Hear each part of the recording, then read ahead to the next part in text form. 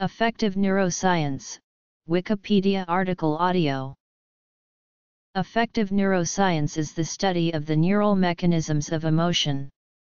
This interdisciplinary field combines neuroscience with the psychological study of personality, emotion, and mood.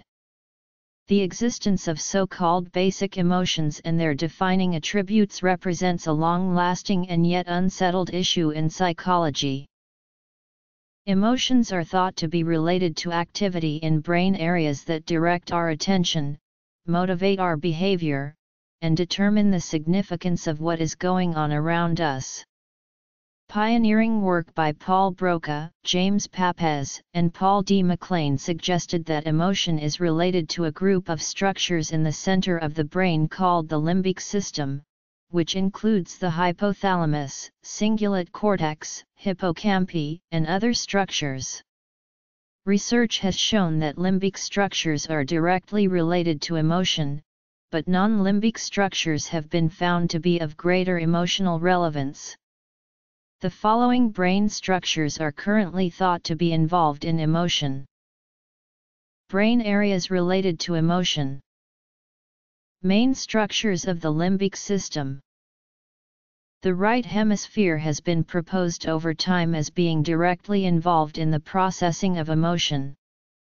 Scientific theory regarding the role of the right hemisphere has developed over time and resulted in several models of emotional functioning.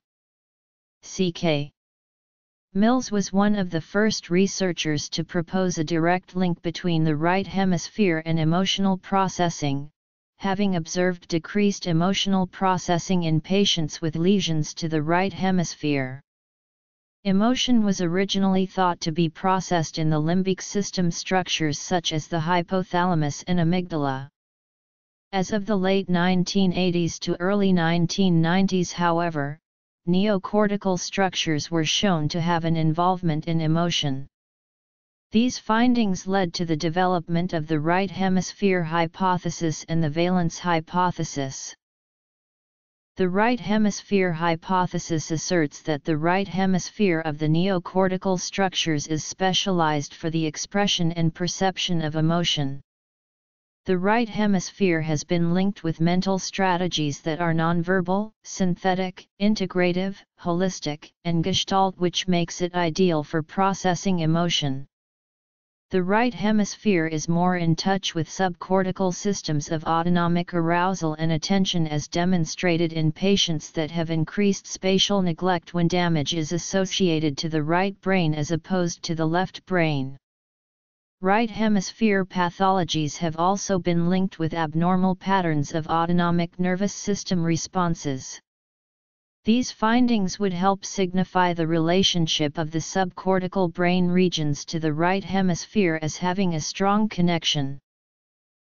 The valence hypothesis acknowledges the right hemisphere's role in emotion, but asserts that it is mainly focused on the processing of negative emotions whereas the left hemisphere processes positive emotions.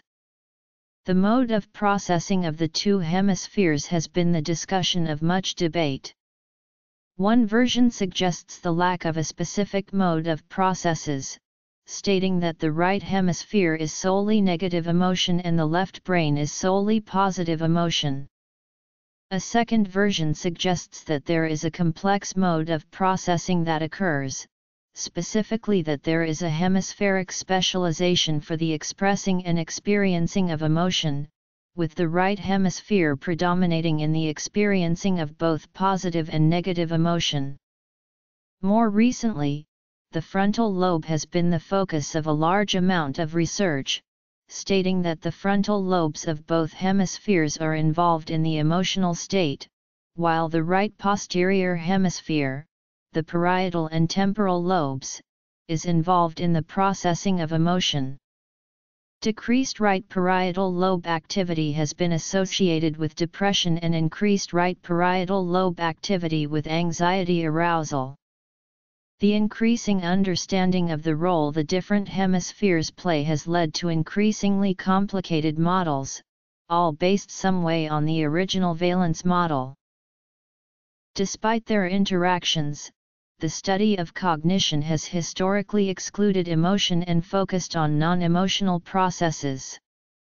As a result, the study of the neural basis of non-emotional and emotional processes emerged as two separate fields, cognitive neuroscience and affective neuroscience. The distinction between non-emotional and emotional processes is now thought to be largely artificial, as the two types of processes often involve overlapping neural and mental mechanisms.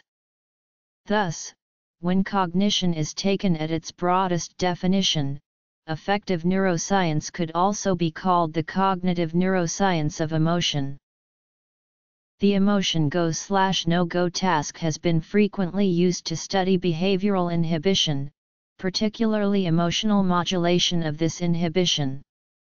A derivation of the original go slash no go paradigm, this task involves a combination of affective go cues, where the participant must make a motor response as quickly as possible, and affective no-go cues, where a response must be withheld.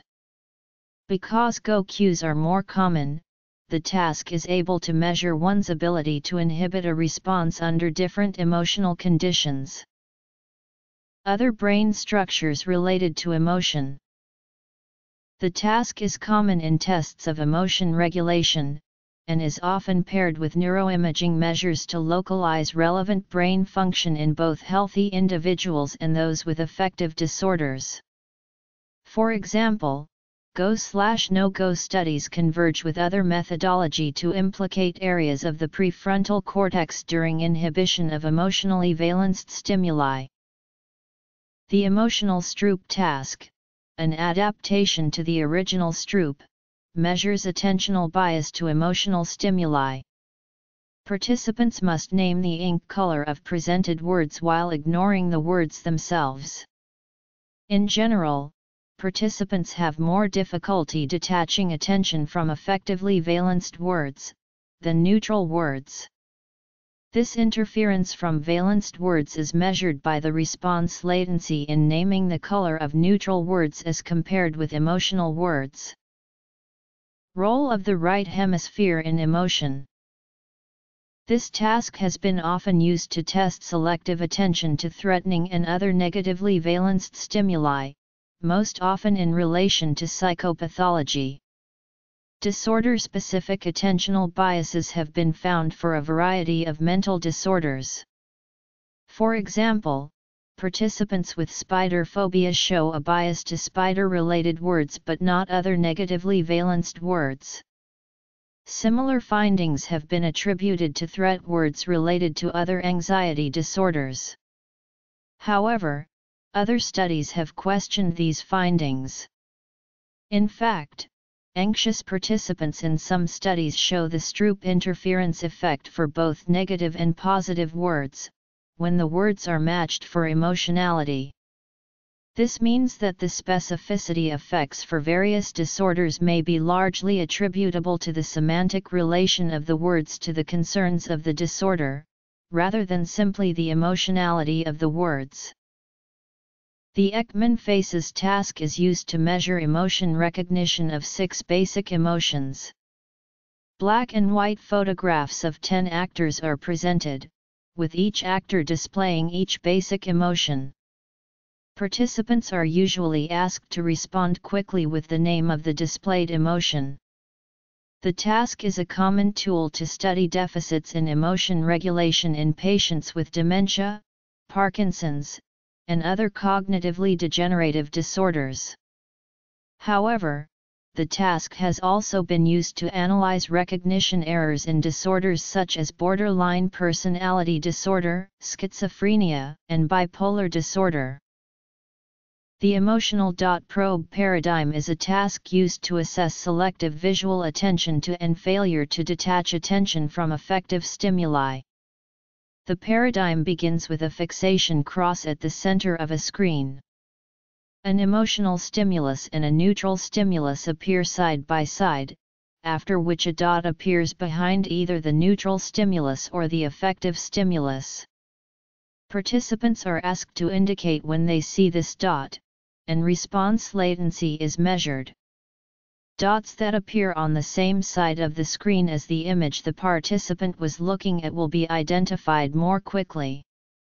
Thus, it is possible to discern which object the participant was attending to by subtracting the reaction time to respond to congruent versus incongruent trials.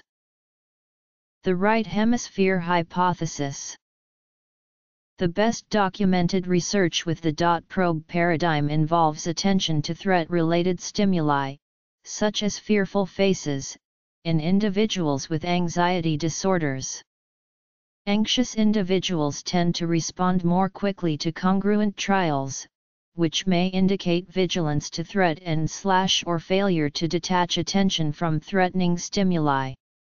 A specificity effect of attention has also been noted, with individuals attending selectively to threats related to their particular disorder. For example, those with social phobia selectively attend to social threats but not physical threats. However, this specificity may be even more nuanced. Participants with obsessive compulsive disorder symptoms initially show attentional bias to compulsive threat, but this bias is attenuated in later trials due to habituation to the threat stimuli. The valence hypothesis Fear-potentiated startle has been utilized as a psychophysiological index of fear reaction in both animals and humans. FPS is most often assessed through the magnitude of the eye blink startle reflex, which can be measured by electromyography. This eye blink reflex is an automatic defensive reaction to an abrupt elicitor, making it an objective indicator of fear. Typical FPS paradigms involve bursts of noise or abrupt flashes of light transmitted while an individual attends to a set of stimuli. Startle reflexes have been shown to be modulated by emotion. For example, healthy participants tend to show enhanced startle responses while viewing negatively valenced images and attenuated startle while viewing positively valenced images, as compared with neutral images. Relationship to cognitive neuroscience The startle response to a particular stimulus is greater under conditions of threat. A common example given to indicate this phenomenon is that one's startle response to a flash of light will be greater when walking in a dangerous neighborhood at night than it would under safer conditions. In laboratory studies, the threat of receiving shock is enough to potentiate startle, even without any actual shock. Fear potentiated startle paradigms are often used to study fear learning and extinction in individuals with post traumatic stress disorder and other anxiety disorders. In fear conditioning studies, an initially neutral stimulus is repeatedly paired with an aversive one, borrowing from classical conditioning. FPS studies have demonstrated that PTSD patients have enhanced startle responses during both danger cues and neutral slash safety cues as compared with healthy participants. Cognitive neuroscience tasks in affective neuroscience research. There are many ways affect plays a role during learning. Recently, affective neuroscience has done much to discover this role. Deep, Emotional attachment to a subject area allows a deeper understanding of the material and therefore, learning occurs and lasts. When reading, the emotions one is feeling in comparison to the emotions being portrayed in the content affects one's comprehension. Someone who is feeling sad will understand a sad passage better than someone feeling happy. Therefore, a student's emotion plays a big role during the learning process. Emotion can also be embodied or perceived from words read on a page or a person's facial expression. Neuroimaging studies using fMRI have demonstrated that the same area of the brain being activated when one is feeling disgust is also activated when one observes another person feeling disgust. In a traditional learning environment, the teacher's facial expression can play a critical role in students' language acquisition. Showing a fearful facial expression when reading passages that contain fearful tones facilitates students' learning of the meaning of certain vocabulary words and comprehension of the passage. A meta-analysis is a statistical approach to synthesizing results across multiple studies. Several meta-analyses examining the brain basis of emotion have been conducted. In each meta-analysis, studies were included that investigate healthy, unmedicated adults and that used subtraction analysis to examine the areas of the brain that were more active during emotional processing than during a neutral control condition. The meta-analyses to date predominantly focus on two theoretical approaches, locationist approaches and psychological construction approaches. It is being debated regarding the existence of the neurobiological basis of emotion. The existence of so-called basic emotions and their defining attributes represents a long-lasting and yet unsettled issue in psychology. The available research suggests that the neurobiological existence of basic emotions is still tenable and heuristically seminal, pending some reformulation. These approaches to emotion hypothesize that several emotion categories are biologically basic. In this view, emotions are inherited biologically based modules that cannot be broken down into more basic psychological components. Models following a locationist approach to emotion hypothesize that all mental states belonging to a single emotional category can be consistently and specifically localized to either a distinct brain region or a defined networks of brain regions. Each basic emotion category also shares other universal characteristics, distinct facial behavior, physiology, subjective experience, and accompanying thoughts and memories. Emotion go slash no go. This approach to emotion hypothesizes that emotions like happiness, sadness, fear, anger, and disgust are constructed mental states that occur when many different systems in the brain work together. In this view, networks of brain regions underlie psychological operations that interact to produce many different kinds of emotion, perception, and cognition. One psychological operation critical for emotion is the network of brain regions that underlie valence and arousal. Emotions emerge when neural systems underlying different psychological operations interact, producing distributed patterns of activation across the brain. Because emotions emerge from more basic components, there is heterogeneity within each emotion category, for example, a person can experience many different kinds of fear, which feel differently, and which correspond to different neural patterns in the brain.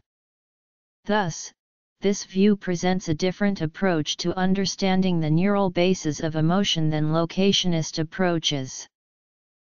Emotional Stroop In the first neuroimaging meta-analysis of emotion, Phan et analyzed the results of 55 studies published in peer-reviewed journal articles between January 1990 and December 2000 to determine if the emotions of fear, sadness, disgust, anger, and happiness were consistently associated with activity in specific brain regions.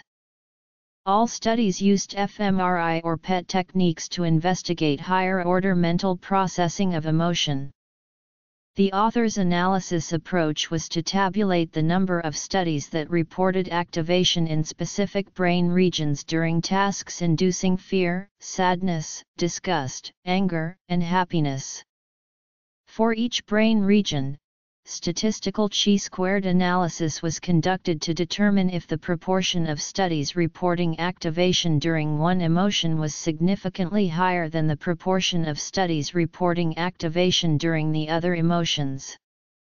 Two regions showed this statistically significant pattern across studies.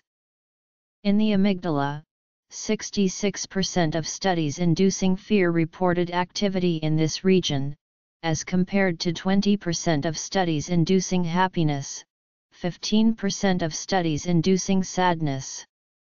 In the subcallosal cingulate, 46% of studies inducing sadness reported activity in this region, as compared to 20% inducing happiness and 20% inducing anger. This pattern of clear discriminability between emotion categories was in fact rare, with a number of other patterns occurring in limbic regions, paralimbic regions, and uni-heteromodal regions.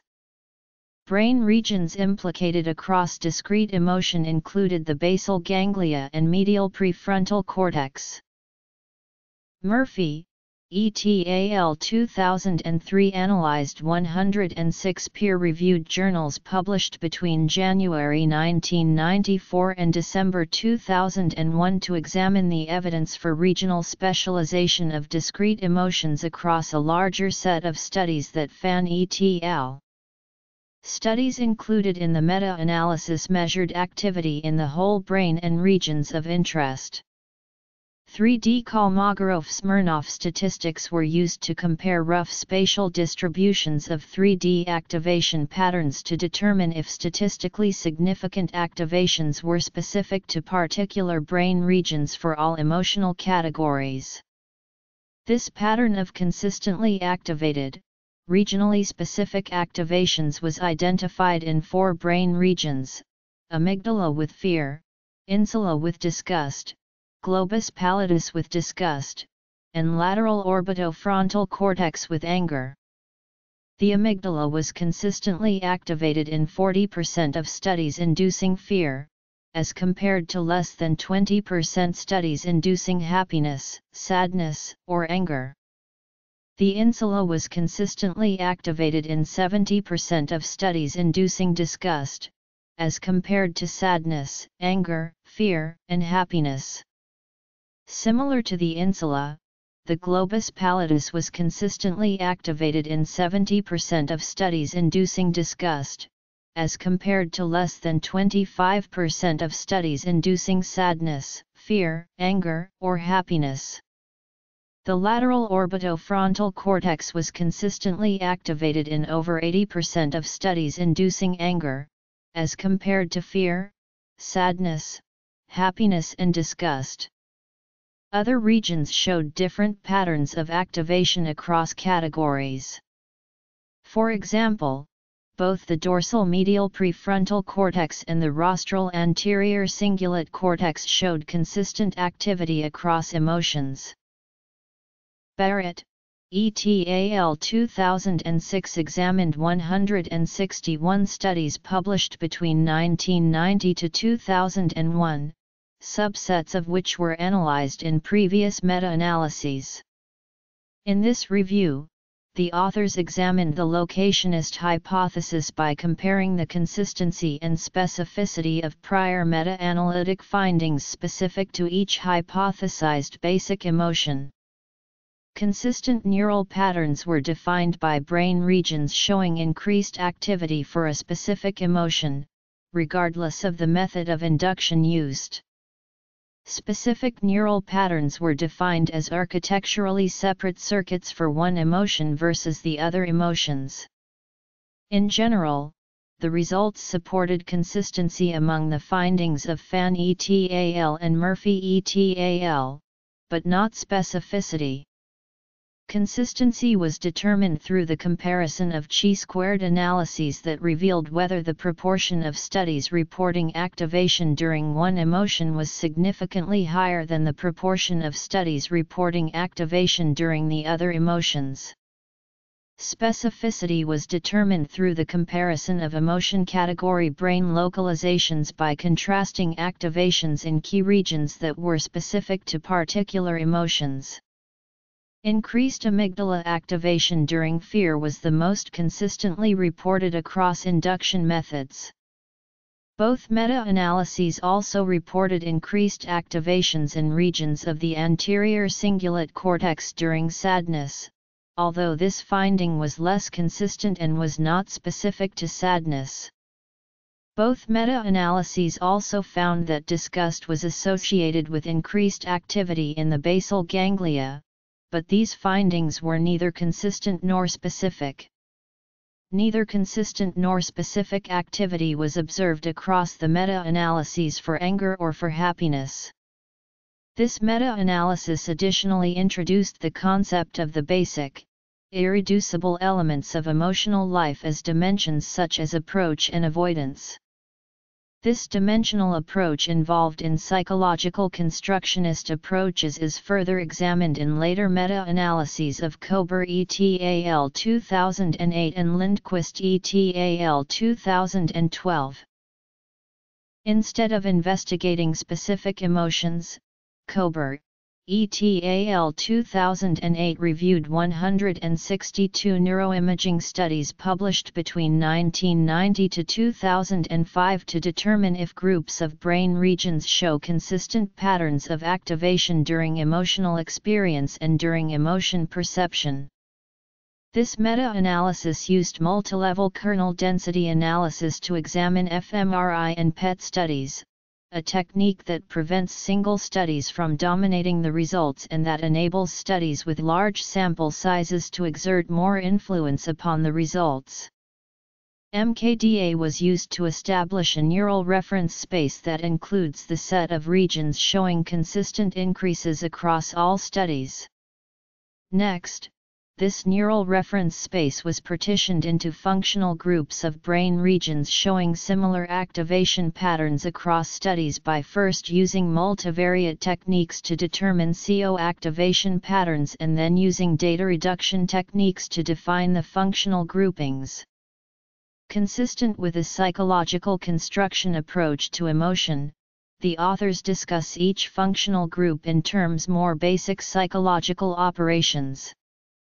The first core limbic group included the left amygdala, hypothalamus, periaqueductal gray slash thalamus regions, and amygdala slash ventral striatum slash ventral globus pallidus slash thalamus regions, which the authors discuss as an integrative emotional center that plays a general role in evaluating affective significance.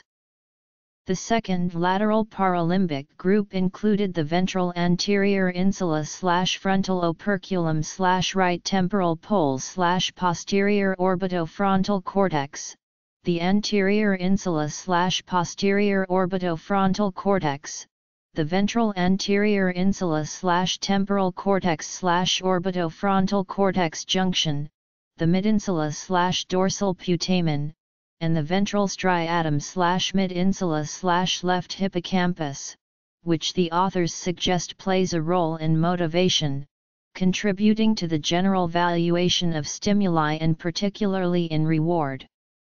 The third medial prefrontal cortex group included the dorsal medial prefrontal cortex, pregenual anterior cingulate cortex, and rostral dorsal anterior cingulate cortex, which the authors discuss as playing a role in both the generation and regulation of emotion. The fourth cognitive slash motor network group included right frontal operculum, the right inferior frontal gyrus, and the pre-supplementary motor area slash left inferior frontal gyrus, regions that are not specific to emotion, but instead appear to play a more general role in information processing and cognitive control. The fifth occipital slash visual association group included areas V8 and V4 of the primary visual cortex, the medial temporal lobe, and the lateral occipital cortex, and the sixth medial posterior group included posterior cingulate cortex and area V1 of the primary visual cortex. The authors suggest that these regions play a joint role in visual processing and attention to emotional stimuli. Ekman 60 Faces Task. Dot Probe. Fear Potentiated Startle. Learning. Vytal ETAL 2010 examined 83 neuroimaging studies published between 1993 to 2008 to examine whether neuroimaging evidence supports the idea of biologically discrete, basic emotions. Consistency analyses identified brain regions that were associated with a given emotion. Discriminability analyses identified brain regions that were significantly, differentially active when contrasting pairs of discrete emotions. This meta-analysis examined PET or fMRI studies that reported whole brain analyses identifying significant activations for at least one of the five emotions relative to a neutral or control condition. The authors used activation likelihood estimation to perform spatially sensitive, voxel-wise statistical comparisons across studies. This technique allows for direct statistical comparison between activation maps associated with each discrete emotion. Thus, discriminability between the five discrete emotion categories was assessed on a more precise spatial scale than what had been accomplished in prior meta-analyses. Consistency was first assessed by comparing the ALE map generated across studies for each emotion to ALE map generated by random permutations. Discriminability was then assessed by pairwise contrasts of individual emotion ALE maps across all basic emotions pairings. Consistent and discriminable patterns of neural activation were observed for the five emotional categories. Happiness was consistently associated with activity in nine regional brain clusters, the largest located in the right superior temporal gyrus. For the first time, happiness was discriminated from the other emotional categories, with the largest clusters of activity specific to happiness located in right superior temporal gyrus and left rostral anterior cingulate cortex.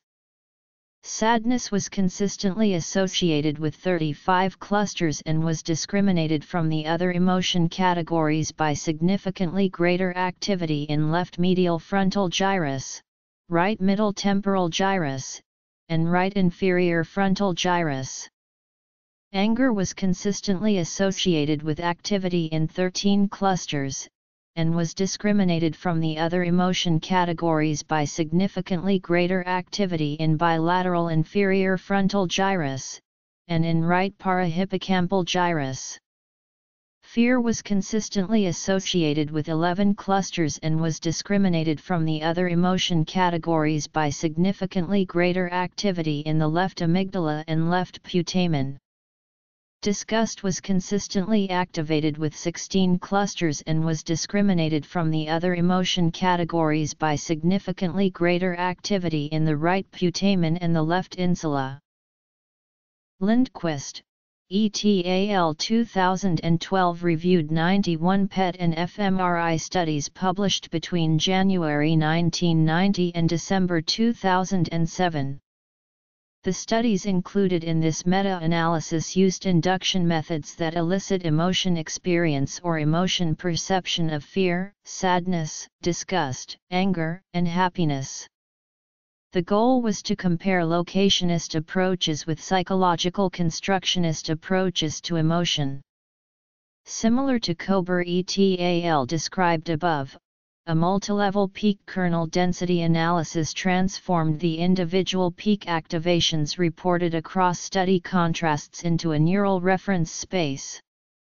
The density analysis was then used to identify voxels within the neural reference space with more consistent activations for a specific emotion category than all other emotions.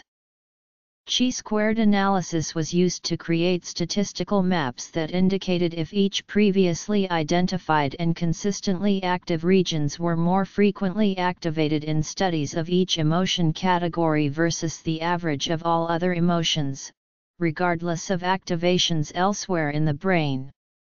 Chi-squared analysis and density analysis both defined functionally consistent and selective regions, or regions which showed a relatively more consistent increase in activity for the experience or perception of one emotion category across studies in the literature. Thus, a selective region could present increased activations relatively more so to one emotion category while also having a response to multiple other emotional categories. A series of logistic regressions were then performed to identify if any of the regions that were identified as consistent and selective to an emotion category were additionally specific to a given category. Regions were defined as specific to a given emotion if they showed increased activations for only one emotional category, and never showed increased activity during instances of the other emotional categories. In other words, a region could be defined as consistent, selective, and specific for e.g. fear perception if it only showed significantly greater increases in activation during the perception of fear and did not show increased activity during any other emotion categories. However, the same region would be defined as only consistent and selective to fear perception if it additionally displayed increased activations during anger perception.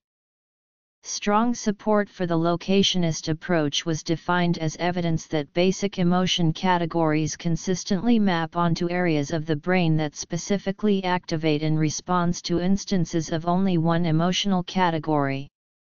Strong support for the constructionist approach was defined as evidence that multiple psychological operations consistently occur across many brain regions and multiple emotional categories. The results indicated that many brain regions demonstrated consistent and selective activations in the experience or perception of an emotion category.